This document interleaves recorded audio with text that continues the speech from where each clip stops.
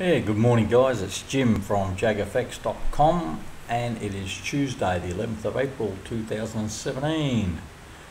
Uh, the start of a new trading week. As Monday's a nothing day as usual yesterday. Um, first up, welcome to any new members um, here on the, either the YouTube channel or anyone subscribed to my Facebook group. Um, in the Facebook group, um, if you haven't already, it's a good place to go just to see the daily, uh, all my trades. I post the majority of them live and you can um, see the setups, etc. in there. All right, before we get into the charts, let's just have a quick look at the news. Uh, fairly quiet week. Um, Yellen's already spoke earlier this morning. Um, Bank of England, Carney speaks tomorrow. Um, the, probably the big news this week is this Canadian, their um, interest rates, I guess you could say. They're expecting no change. It's at half a percent at the moment, and that's supposed to remain that way, but that will possibly move the Canadian pairs. Um, there's employment figures out of the Aussie, just the usual stuff out of the US. Um, there's really not much at all core retail sales can sometimes move the market out of the US on Friday, but other than that, it's a fairly quiet week. Just the Canadian's probably the big one. You just watch that on Wednesday. Uh, interest interest rates, Canadian dollar. All right, let's have a look at the charts. As usual, we'll just go through my daily charts, so I won't worry about the 8 hour or 12 hour or any other time frame. I'll just go through the, the daily charts. They're just the ones, they're the bread and butter ones for me. Probably the most boring, but they're the ones I like trading.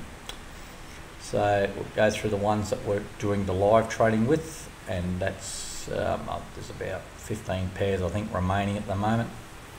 So we'll start with Aussie New Zealand. Nothing happening here. Um, I guess my next trade is going to be a buy. Looking at the MACD, is it's a funny looking ugly sort of straight down, which is sort of unusual for this sort of indicator, but that's the way it's heading at the moment. I've drawn my green trend lines under here just to indicate some possible divergence setting up. Obviously need a lot more confirmation, but it's um, it just gives me a heads up that divergence may be forming. Um, you can see that MAs are going up, so price is coming back into the MAs, so ideally I'd be looking for a price to drop down further and bounce up and out of the MAs. So price come down and up like that and through that trend line. That's the plan in a way. Let's move that. Just move that out of the way. Alright, let's move on. Euro USD. Um, in a sell, closed um, two already. So my stops at break even. My stops up here in the, on the red line, that's my entry. So when you see a red vertical line, dashed line like that, that's a sell. That's the candle, the signal candle, and the red horizontal line's the level actually sold at. So it's basically on the open of the candle straight after. And you can see it's gone down nicely.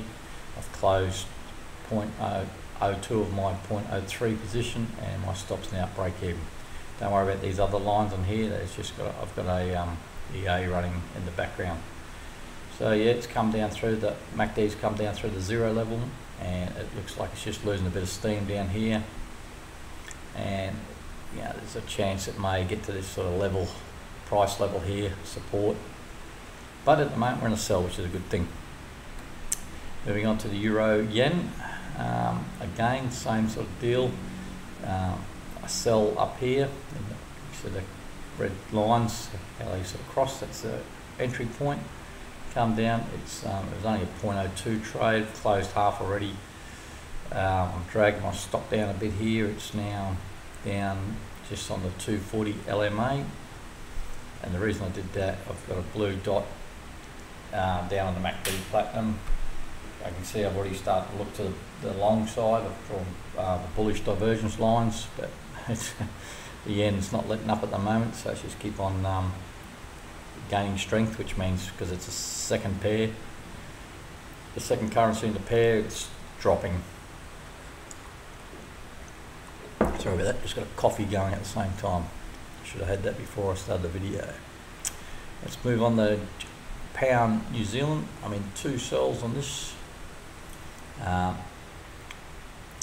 two red lines, two red lines, you can see it all. That yellow dashed line is my overall break even. I've got another red um, dot on the MACD Platinum. It's grinding down slowly towards that zero level. I prefer it to stay above the zero level so it gives me a chance to get a, another trade. Ideally, I'm looking for a red QMP dot.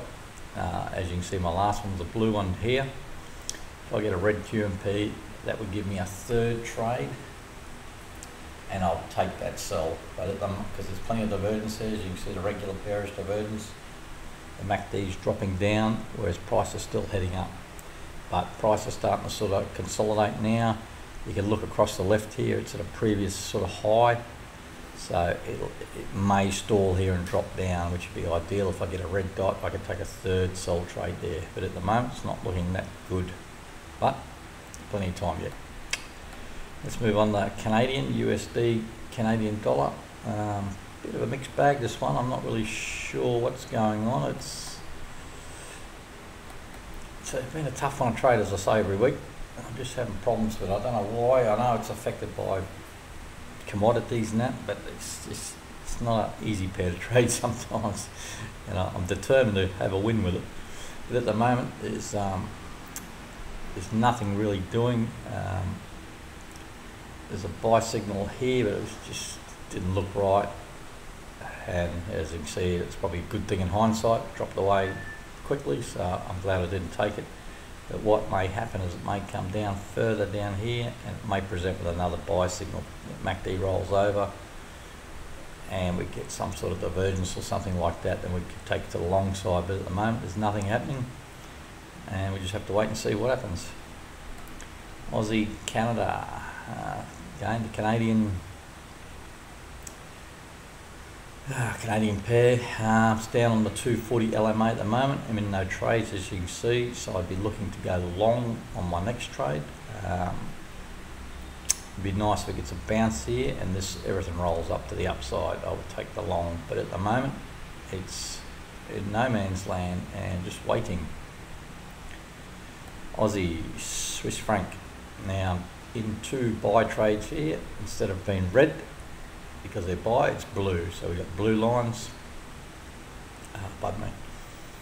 And the yellow line's still my overall break even, so I'm a little bit in the in the poo on this one, but nothing to get too worried about. Um, I like how the fact that the MACD is still well below the the, um, the zero level, and we've got a red dot now. If it rolls over a little bit, or even gives me another blue dot, it'll give me and it'll give me another opportunity to get a trade. My last signal on the QMP was a blue dot, so that's still valid buy signal on the QMP, but it's not on the um, MACD Platinum. So if I wanted to, and I'll, I'll consider this if it happens, is if I get a blue dot on the MACD Platinum and that blue dot on the QMP is still the last signal, then I could possibly take a buy signal just based on that MACD Platinum. I'll probably end up drawing a trend line through here and look for a trend line break. So I'll give you an idea what I'm talking about. Some sort of trend line through there. Doesn't have to be spot on, just something that gives me an indication what's going on. And because it's not, so just a trend line, I'll, I'll colour them aqua blue, just so it's different from my bullish or bearish divergence.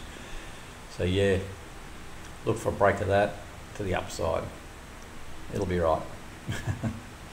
Famous last words. Euro Aussie. Another one I'm in two trades, two sells. Is my overall break even down here.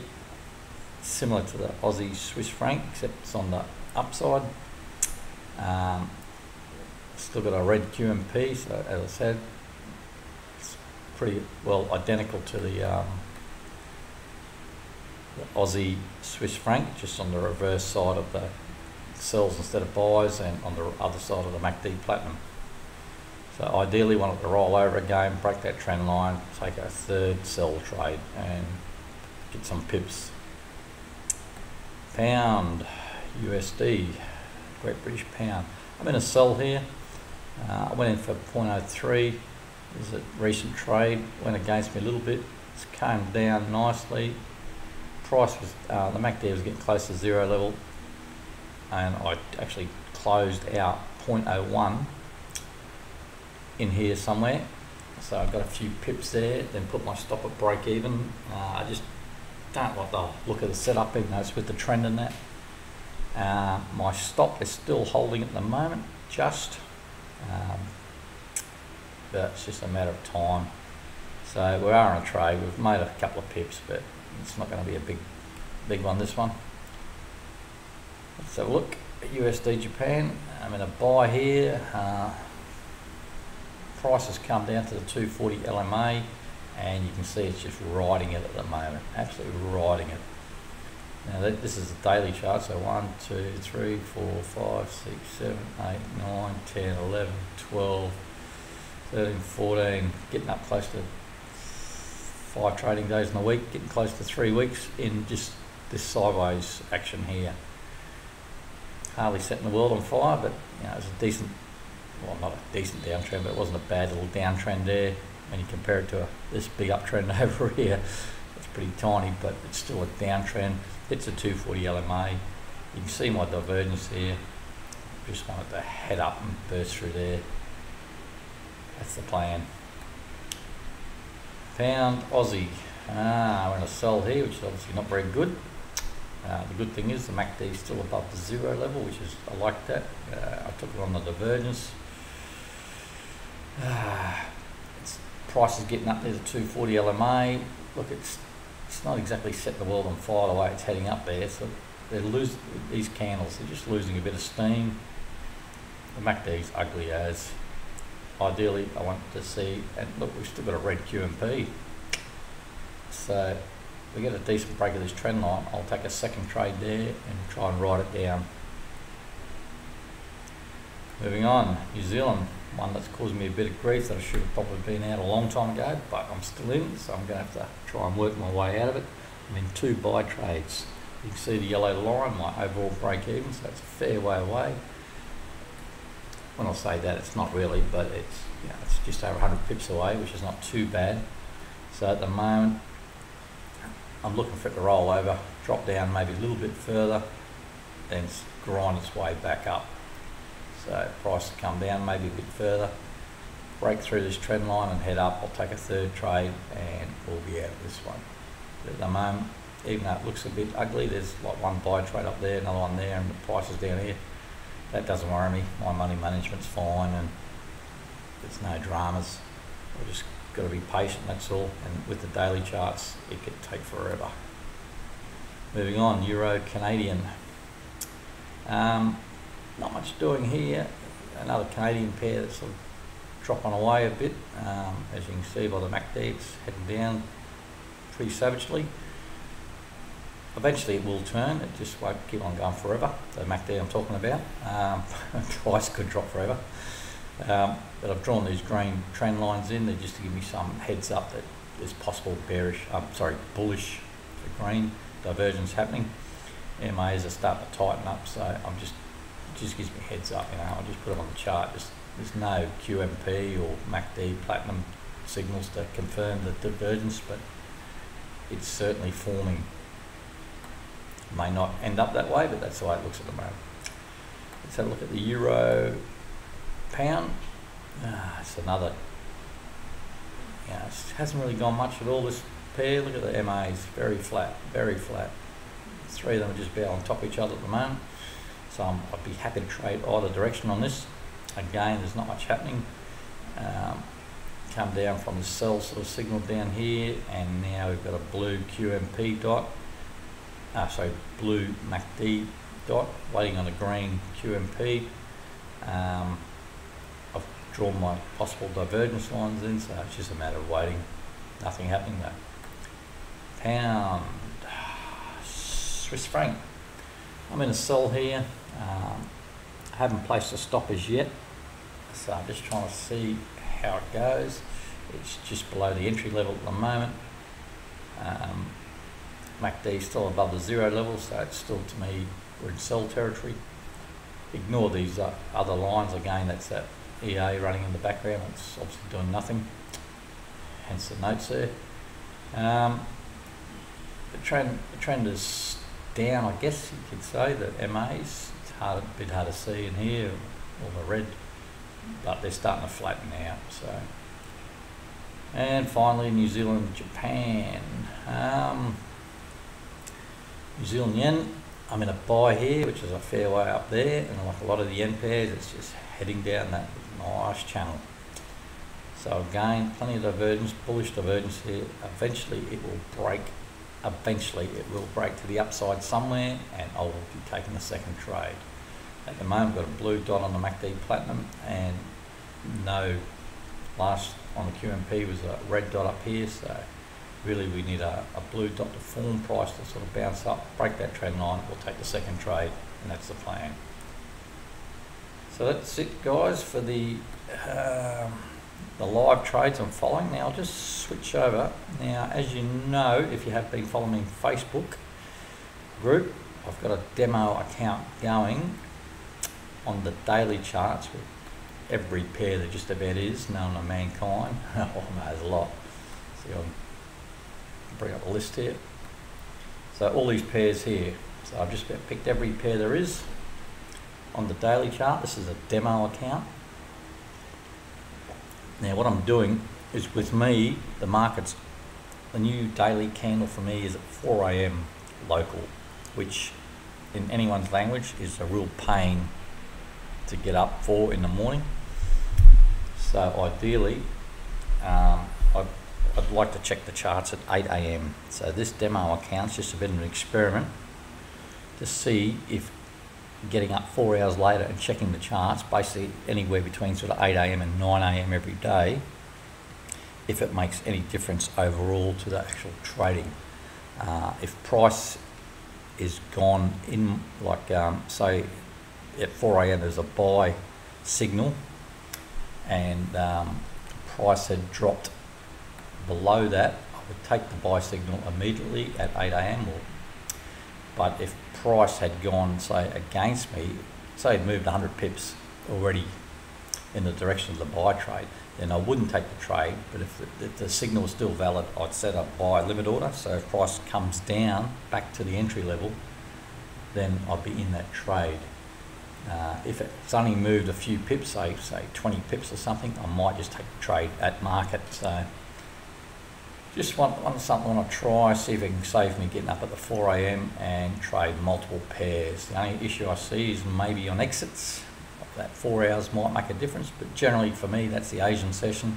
So really the only pairs affected are the Aussie pairs, possibly New Zealand and yen pairs, but we'll see how it goes. I've only been running it for a few days, and as you can see at the moment, uh, I'll just move this out of the way. Um, we're only down $158 in, um, in overall trades at the moment, open trades, so it's not too bad. Um, account history, I've closed a couple of small trades, cancelled a couple of orders, so $21 up, woohoo! it's only early days, only early days.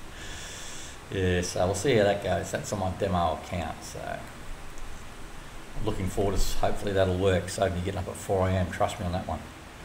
So that's about it, guys. Um, again, thanks for being a part of the group, Facebook group, or a subscriber on the YouTube channel. And as usual, you can always email me. I think my new email address is um, admin at jagfx.com, or you can still do the jagfx33 at gmail.com, either or, or get on the Facebook group and have a look. And um, anyone's got any questions or just wants to chat Forex in general, more than happy to assist. So thanks again, guys. Look after yourselves and be careful at Canadian news on Wednesday. Cheers.